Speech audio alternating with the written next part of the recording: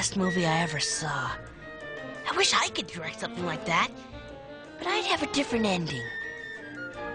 Dad! Casper, hurry! Dad! Casper!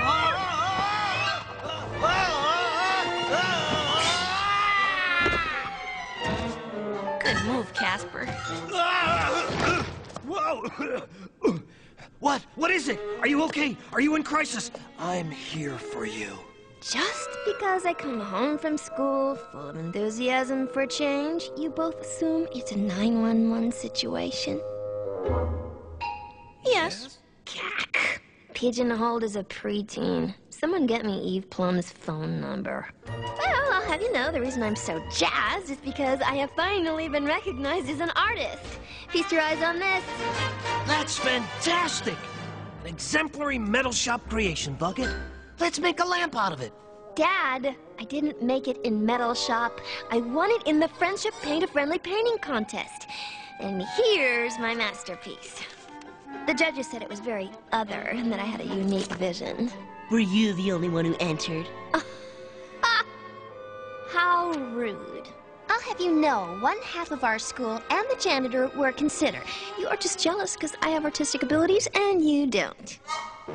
I am not jealous. Are too. Hardly. Totally.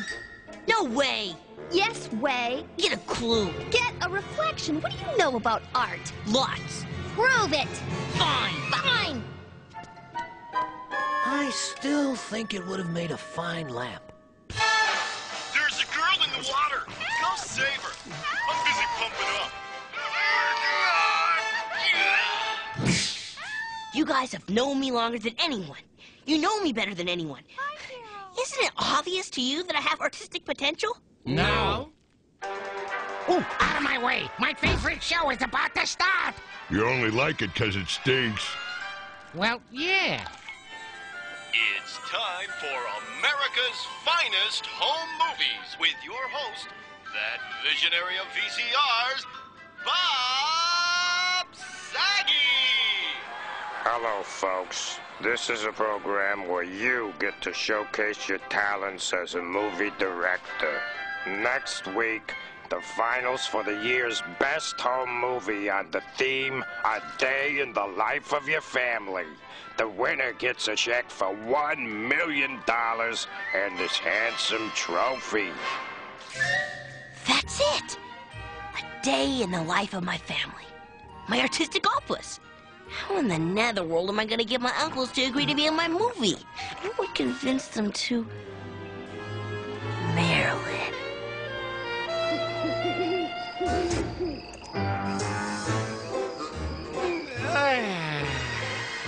This is the afterlife, ain't it, boys?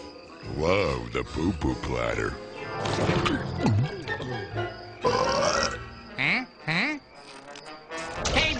It, bulbhead!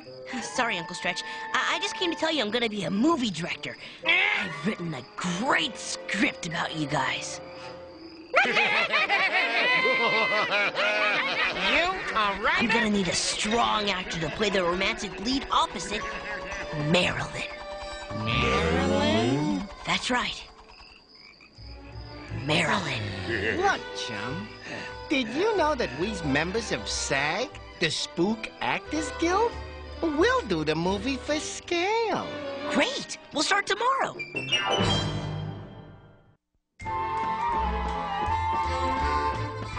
Okay, people, work with me here. Are we ready to make movies? Hey, bulbhead, what's with all this powder? It's kinda itchy. Yeah, it makes me wanna sneeze. It's for the movie. You know, ghosts don't show up on film. Oh, yeah, I, I knew that. Okay, scene. Enter on cue. Scene one, take one. Morning. The peacefully sleeping Casper is rudely awakened by grumpy uncles.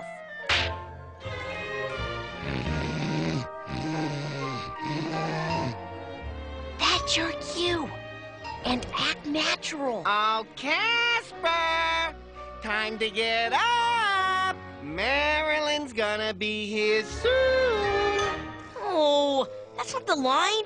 You're supposed to scream. Where's my breakfast, bulbhead? Ah, ah, ah, achoo! Achoo! Achoo! Oh, what I do for art. Okay, let's move on to the next scene. Okay, we gotta get more artistic.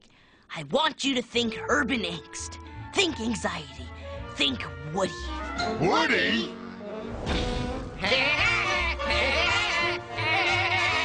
Not that Woody. The nervous one. Speaking of nervous, I'm nervous that Marilyn ain't showing up, and somebody's making us look like maroons. No, uh, she'll be here. Trust me. Work with me here, people. Lights. More lights. Action. Is life like a song from Marilyn? Or, uh, no, wait, maybe more symphony. A, a symphony, yeah, dark, brooding, Mahler. Oh, the inhumanity. It's all just so random. What makes an afterlife worth living? You gotta wonder what it all smells like. Uh, okay, um, I could be, um, experiencing, uh, like, a real anxiety attack here. Cut. Print. Wow, that felt really artistic. Pretentious, even. Artistic schmartistic. We want Marilyn. Uh, can't talk now. I've got a vision here. Next setup exterior day. Scene three, take one. Chores. The resilient Casper is coerced into graveyard work by pestering uncles.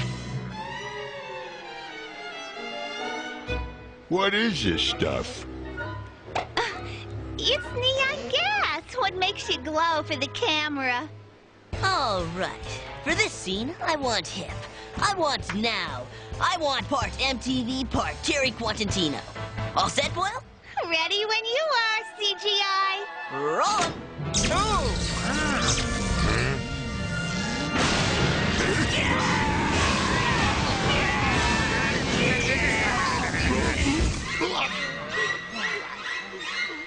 Not exactly Pulp Friction, was it? Let's try it again. I don't think so, Bulbhead. You better find yourself some stunt spooks. We've been powdered, painted, and pumped full of gas for you. Now you bring us Marilyn right now. You hear? Or we'll show you what a real director's cut is. Uh, well, uh, Marilyn's due any minute, so you guys better get ready to meet her. Yeah, I've got to get more videotape. She's on the road. Tonight, the finals in our Day in the Life contest. oh, man. Hello? Acme Instant Delivery? I've got a rush job. Acme Instant Delivery. Uh, we're just getting over the flu in here, so I better slide the package under the door. Oh, thanks, mister. Um, oh, and please hurry. Well, that's all the entries, so. Hold on. It seems we have a last minute entry from a viewer named Casper. Let's take a look. Is life like a song You from gotta Marilyn? wonder what it all smells like. Hey, short sheet, remember to focus. Yes, well, Casper must be a foreign viewer because that certainly looked like a foreign film. Now, let's pick a winner. First, the Morgan family with Baby Beth at dinner time. College fund. Oh, Next, the Roberts family with Latera meets Grandpa in the garden. I've fallen and I can't get up. Finally, Casper with, uh, whatever. It's all just so What it all smells like. Well, at least we know who lost. Ha Pat was right. I don't have any artistic talent. Casper, what's wrong? Cat, I admit it. Admit what? I'll get it. Acme Instant Delivery. Hmm. That's for you. How do you know? Is it addressed Dear Loser? No, but there's a note. We, the judges at the Moondance Film Festival, viewed your recent abstract and enigmatic film. You have been unanimously voted this award. Congratulations. Were you the only one who entered? I won this fair and square. Big deal. Jealous? Am not. R2! Mm, Maybe not. Okay, I admit that you are artistic. A little. Thanks. So are you. sort of. Uh, hi, guys. Don't hide me, you phony Phantom Fellini. You lied to us. No, I didn't. Yes, you did. You told us Marilyn Monroe was going to be in the movie. No, I just said Marilyn. And there she is, right about now. Hi, boys. Who is? That's my old kindergarten teacher, Marilyn Krupp. Thanks for the candy. Now, how about a little sugar?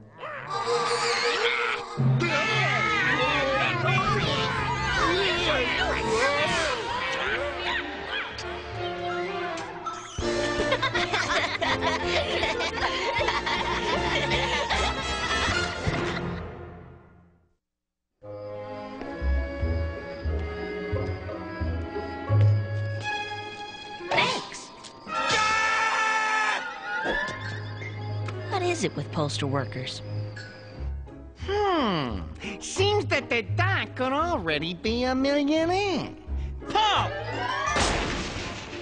Water bill, Paul! Phone bill, Paul! Gas bill, Paul! Gas bill. Be my guest. Thank you.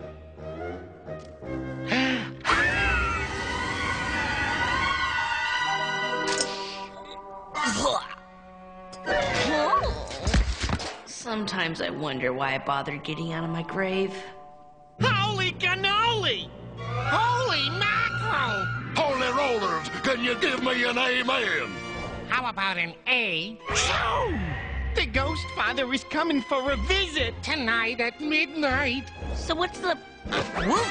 The ghost father is the master of mayhem. The ringleader of riots. Whatever. As long as he leaves Cat and Dr. Harvey alone. Oh my gosh! Remember the time in Jersey? When we failed to spookify them fleshies off his tape? Yeah. It was Titans! We gotta scare them flesh sack bone bags out of here. Unless you wanna get leaned on by the ghost father. no way. Okay, boys, we'll take the kitchen first. The doc is an easy target. Then we'll spookify the kid. What the heck is that? Casper? What the heck do you think you're doing? Stopping your dark and evil plans? Oh, yeah? Well, how about instead you visit the doc and evil moon?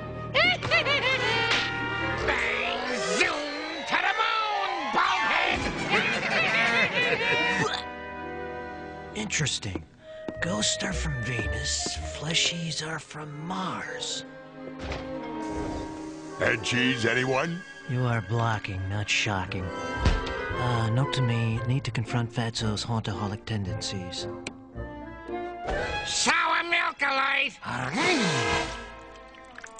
That is nothing more than stinking thinking. No, it's an expression of my lactose intolerance. Note to me, buy mouthwash for Stinky. I'm from Venus and Mars. Bone bag! Stretch, you guys are an open book tonight. Pun intended. Can't let my uncles get away with this. I can't let them scare Cat and Dr. Harvey. I'll save you, Dr. Harvey! Uh, leave Doc alone! Hi. You are obviously transferring your anger towards your uncles into those curtains. It's just my uncle's planning, so you... Because the ghost father is... Oh my gosh, Cat! All ghosts acting odd must be a full moon. As a matter of fact, it is. There's that kid. Okay, my creepy group. Let's just boo it.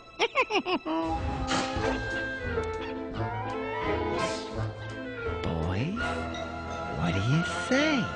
Head trip. Hmm. Real adult speed bumps.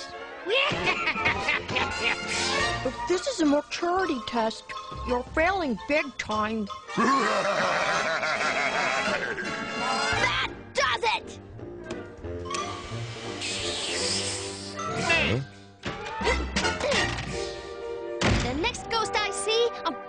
Hoover upright. Pussycat, what'd you do? Is she okay? Check for yourself, bald head. Cat!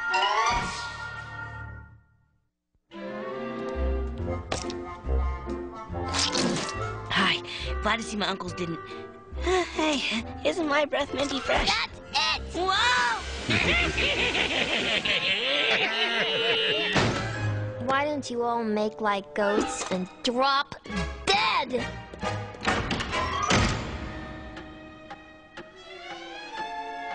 What are we gonna do? The ghost father will be leaning on us in five minutes. Couldn't scare either one of them. Maybe we ain't the spooky spooks we're spooked up to be. This stinks. Uh, you boys seen Cat? You mean Queen of the Ghostbuster Banshees? Yeah, she's in a room, Doc. Oh, I know. Giving up the haunt is dramatic. But guys, I'm here for you. We'll stay right here at Whipstaff forever. Good night, Stretch, Stinky, Fatso, Casper. Night, Dr. Harvey. Hey, I hear you're the queen of the Ghostbuster Banshees.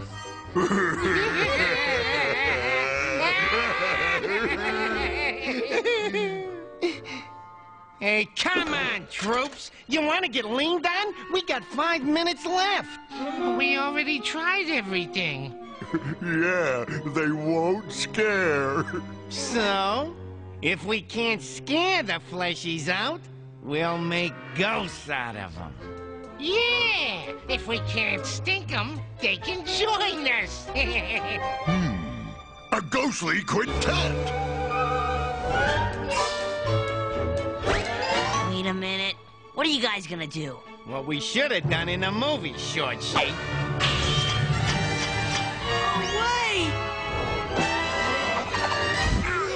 All right, Bob, when I hold you.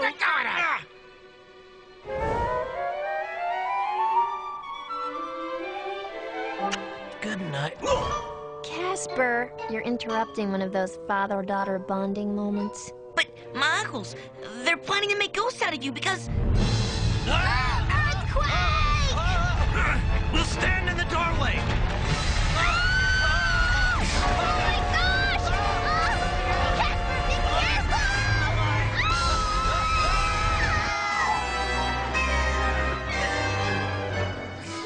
Casper, I don't know. Maybe I should have taken the A train.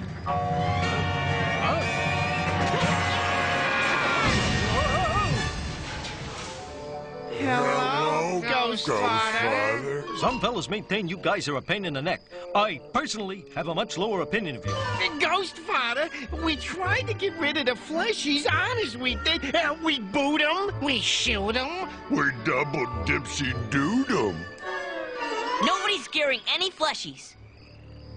The Harveys are my friends. You scare them out over my dead uh, ghost body. Say, for a fellow with no internal organs, you got a lot of guts. Nice kid. I love them, especially the cheeks. They're very pinchable. Uh, you, you, you don't want we should get rid of the fleshies, Ghost Father? Fleshies, smashies. It's a kindly, gentle world. You gotta move with the times. You'll learn. When you've been dead as long as I have, and that's a long time, you get colder and wiser. You learn to relax. So relax. Yeah, guys. Chill. How about I meet your fleshy friends? They, don't worry about them. They live on the wrong side of a one-track mind. You mean we did? All that spoken. For nothing.